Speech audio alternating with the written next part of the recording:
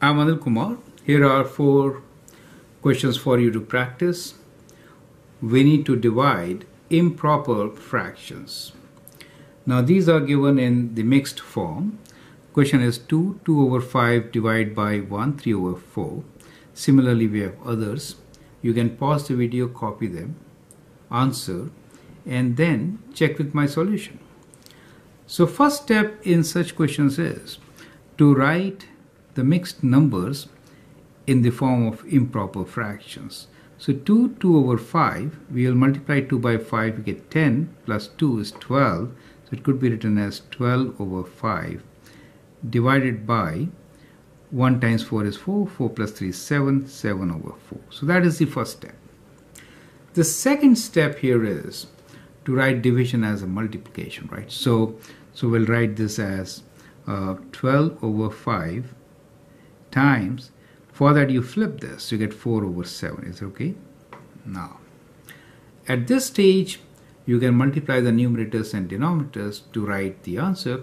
First, look for any scope of simplifying. In this case, we do not have any common number to divide numerator and denominator, so we can straight away from here uh, write down our answer. So what we did was we moved from here to this place and now we're coming down, okay?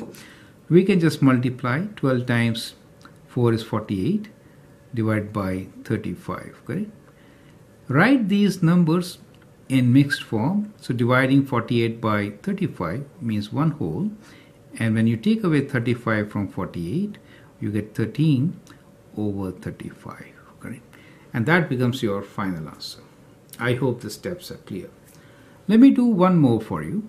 So first step here is rewrite as improper fractions. 3 and a half could be written as 3 times 2, 6 plus 1, 7, 7 over 2 divided by 3 plus 2 is 5, 5 over 3.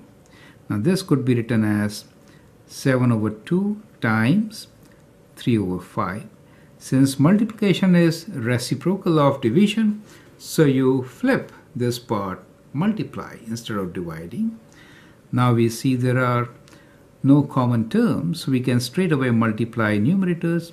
7 times 3 is 21, denominators 5 times 2 is 10. Now this could be written as a mixed number. Dividing 21 by 10 two times, we get 20, 1 is the remainder, and that's the final answer. I hope you have understood this strategy.